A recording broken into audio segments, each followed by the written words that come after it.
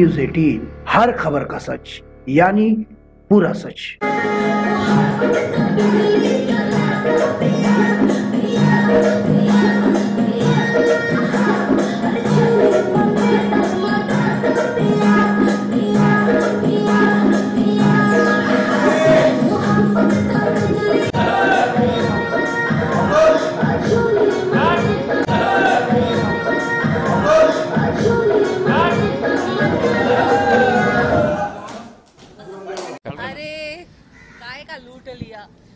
को लूट लिया हीरो और हीरोइन ने जनरल अविनाश आइए ना। अरे किनका? इमेजिन कीजिए अगर मुझे कभी किसी ने विधवा का रोल दे दिया तो। तो बोलेगा नहीं कर। कोई देखेगा ही नहीं। आइए। एक साथ आइए एक साथ ना एक वीडियो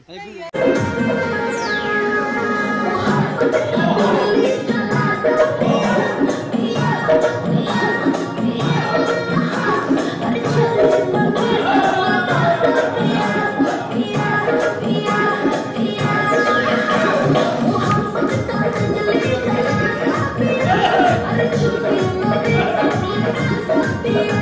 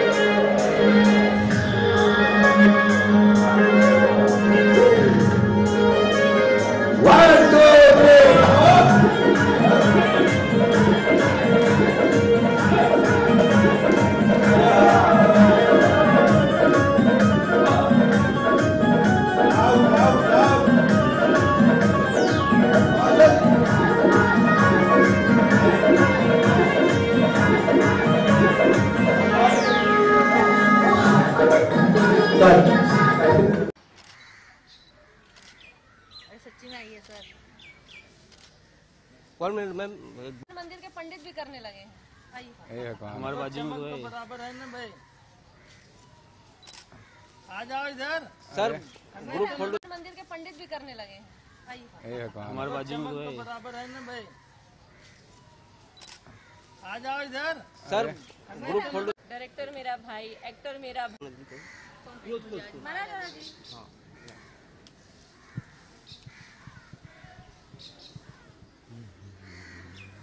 से खड़े रहो मिलिट्री का कासल की तरह मत।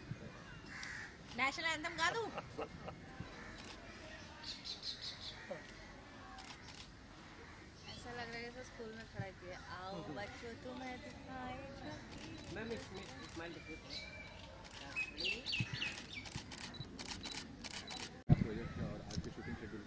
अ, मैं गिरीश शर्मा भोजपुरिया विलेन रउआ के गोर लगातानी प्रणाम करतानी प्रोजेक्ट बताइए सर क्या प्रोजेक्ट है क्या टाइटल है और कौन कौन से स्टार कास्टर आप क्या अ, मैं इसमें नेताजी की भूमिका कर रहा हूँ ग्लोरी जी आइटम कर रही हैं। और तुलीप जी और संजय जी इसके निर्माता हैं। सुपर पावर म्यूज़िक कंपनी है जो लॉन्च हुई है। उसी के बैनर तले काफ़ी बड़े बजट की ये एल्बम है और बन रही है आइटम सॉन्ग है जिसमें मैं नेता की भूमिका में हूँ। तुलीप सिंह जी का मैं शुक्रगुजार हूँ। ऐसे में मुझे राखी भी बांधती हैं। वो बहन भी हैं। और अपना संजय जो इसके म्यूज़िक डायरेक्टर हैं वो मेरे भाई की तरह हैं। तो सर भोजपुरी आइटम सॉन्ग की बात करें तो आज के ज़माने में बहुत सारे लोग इसके खिलाफ भी हैं तो क्या कहना नहीं ये ये आइटम सॉन्ग अश्लीलता नहीं है। इसके अंदर अश्लील कोई वर्ड नहीं है। सबसे बड़ी चीज़ है ये बहुत बढ़िया म्यूज़िक से सजाया है संजय जी ने। बहुत खूबसूरत म्यूज़िक है। और इसमें ग्लोरी जी जब आ गई तो एक आइटम का तड़का लग गया है मैं साथ में उनका साथ दे रहा हूँ। लेकिन फिर भी लगता है आपको सुधार की ज़रूरत है क्योंकि बहुत ज़्यादा हाँ सुधार की ज़रूरत है हम्म, लेकिन इसमें कोई वैसा अश्लील शब्द भी नहीं है कोई वैसा ज़्यादा कुछ नहीं है। सुधार की तो भोजपुरी में ज़रूरत है क्योंकि देखिए घर के परिवार के लोग कट गए हैं। इस भोजपुरी समाज से मैं गाँव में जाता हूँ तो एक पढ़ा लिखा वर्ग इससे कट गया है। तो मैं खुद चाहता हूँ कि भोजपुरी में एक अच्छी फ़िल्में बने मैं भी उसकी एक पात्र हूँ तो मैं चाहता हूँ कि एक अच्छी फ़िल्में बने ताकि मेरे घर परिवार अपने परिवार के साथ में देखूँ। इसके अलावा कौन से प्रोजेक्ट में काम कर रहे हैं? इसके अलावा हमारी फ़िल्म अभी हम किसी से कम नहीं कर्मयुग तकरार सिंदूर की सौगंध कई एक फ़िल्में हमारी आ रही हैं। रानी जी की अभी फ़िल्म रिलीज़ हुई क्या आपने देखी नहीं मैंने फ़िल्म नहीं देखी लेकिन सुनी है काफ़ी अच्छी फ़िल्म है। अभी जिसमें रितेश पांडे शायद हीरो है ना, काफ़ी अच्छी फ़िल्म है। यूथ सर्टिफिकेट मिला ऐसा सुना है तो काफ़ी अच्छी फ़िल्म है। हम लोगों से अपील करेंगे कि ऐसी फ़िल्मों के देखिए, आप लोग देखेंगे तभी तो हम लोगों को भी बढ़ावा मिलेगा, दर्शक जब जाएँगे तो। तो अच्छी फ़िल्में बननी शुरू हो गई है, हमारी हम किसी से कम नहीं भी आ रही है, कर्मयुग जैसा के नाम से ही है तो काफ़ी अच्छी फ़िल्म कोई अश्लीलता नहीं है। और हमारी दो फ़िल्में और बहुत बढ़िया आ रही है, दहेज पे है। एक दहेज दानव, जिसमें मैं एंटी हीरो की भूमिका में हूँ, और एक लाल। आप जिसके डायरेक्टर राजेश कुमार जी हैं, आप इस फ़िल्म को ज़रूर देखिए, लाल और एक अलग तरह की शूटिंग हुई है। मैं उसमें विलेन के रूप में लाल में पैरों में घुंघरू बांधे हुए हूँ।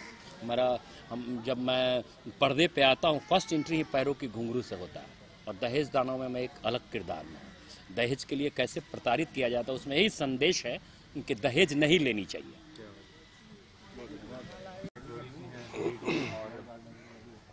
एल्बम का दौर है काफ़ी है ज़्यादा चला हुआ है। क्या किस लिमिटेशन में आप काम करते हैं?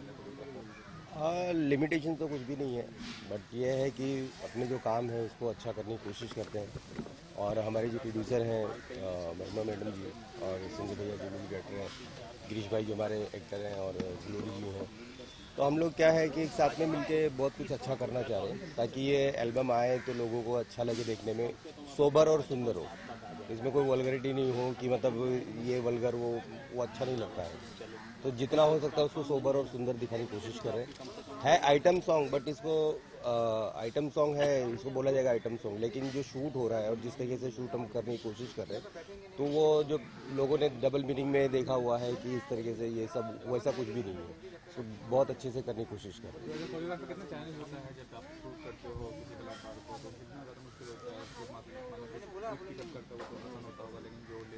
हो उसमें एक्चुअली क्या होता है जैसे कि भी अ, कुछ आर्टिस्ट ऐसे होते हैं जिनको मतलब हिलना भी नहीं आता है। और कुछ ऐसे होते हैं जो कि मतलब सेट पे पहुँचते एकदम डांस करना शुरू कर देते हैं। तो उसमें थोड़ा सा डिफरेंस आता है जैसे भी ग्लोरी जी हैं तो इनका कैसा है कि इनको बताओ और मतलब क्विकली मोमेंट हो जाता है। बट कुछ लोग ऐसे होते हैं जो वो सिखाने के टाइम पे थोड़ा डिफ़िकल्ट होता है। बट उसको भी हम बहुत प्यार से और आसानी से उसको निकालने को निकाल लेते हैं। जो कंपनी ये प्रोड्यूस कर रही है वो आगे चल के बहुत सारे एल्बम्स में अ, हाँ अभी उन्होंने मुझसे कमिटमेंट किया हुआ है कि मतलब डेढ़ सौ हिंदी सॉन्ग है उनके और तीस चालीस भोजपुरी सॉन्ग है। तो इस कंपनी में मुझे उन्होंने फिक्स एज ए कोरियोग्राफर लिया हुआ है। तो ये मेरा भी सौभाग्य है कि मतलब एक साथ इतने सारे सॉन्ग मिल रहे करने के लिए। तो मज़ा आएगा करते करते।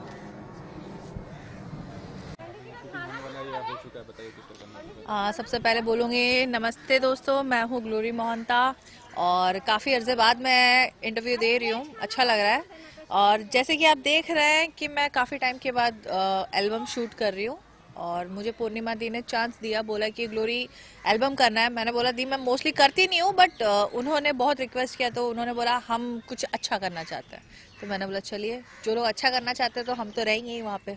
तो काफ़ी समय से मतलब जो ये चल रहा है दौर क्या कहना चाहेंगे? आप कितना एंटरटेन होती हैं? कैसा महसूस करती हैं कि आइटम सॉन्ग करने में? अभी कुछ महसूस ही नहीं होता क्योंकि सब हीरोइनें तो आइटम कर लेती है। आइटम का वजूद ही खत्म हो गया। जो बच्ची कुची थी उन लोगों ने शादी करके चले गए। बचा दिया मुझे छोड़ के चले गए। अब भाई मुझे भी लगता है शादी करना पड़ेगा। क्योंकि क्योंकि आइटम तो हीरोइन ही कर लेती हैं आजकल। तो ये सही बात है गलत बात है क्या मानते हैं? क्योंकि हीरोइन का काम होता है एक्ट करना आइटम गर्ल भी वही बन जाएँगे देखिए आर्टिस्ट को कभी कोई बंदिश नहीं होना चाहिए। कुछ गलत नहीं है कुछ सही नहीं है। सिर्फ़ मैं इतना बोलूँगी कि जिसको जो टैलेंट आता है अगर कोई डांस क्यों अ, करीना कपूर ने भी आइटम किया हुआ है मलाइका ने भी एक्टिंग किया हुआ है मैं सिर्फ़ इतना रिक्वेस्ट करूँगी प्लीज़ किसी को आप टैग ना दें। जो टैग जैसे कि डॉगीज को पट्टा बाँध देते, मेरे गले में भी पट्टा दे दिया है कि शी इज़ आइटम डांसर नहीं अपार्ट फ्रॉम आइटम डांसिंग मैं एक्टिंग भी अच्छा करती हूँ। खाली किसी हीरो का नज़र नहीं आ रहा मेरे ऊपर। जब मौका मिलेगा तो डेफिनेटली करूँगी मैं। इसके अलावा कौन से काम कर रही बहुत सारे काम कर रही हूँ लेकिन कोई रिलीज़ हो तो ना आजकल पता नहीं क्या हो गया भोजपुरी इंडस्ट्री को। एग्जैक्टली exactly, मेरे कम से कम पचास फ़िल्म है और बोलने में अजीब लगता है मैं दो साल पहले थोड़ी पतली थी थोड़ी नहीं काफ़ी पतली थी अभी मैं उसके डबल हो चुकी हूँ। अब दो साल पुराने जब गाने रिलीज़ होते हैं ना तो खुद को देख के शर्म आती है अब मैं क्या बोलूँ? कब रिलीज़ होगा? रिलीज़ होना बहुत ज़रूरी है और आजकल तो वैसे भी फ़िल्में ऐसी पिट रही हैं। तो ऐसी कौन सी फ़िल्म का इंतज़ार है जो आपने काम किया और रिलीज़ नहीं हो रही? है कुछ होगा मेरी हिंदी फ़िल्म है। मैंने एक, हमें तो लूट लिया। ऐसे करके एक मूवी था जिसमें मैंने मुझे एक्चुअली ही लूट लिया। तो होगा?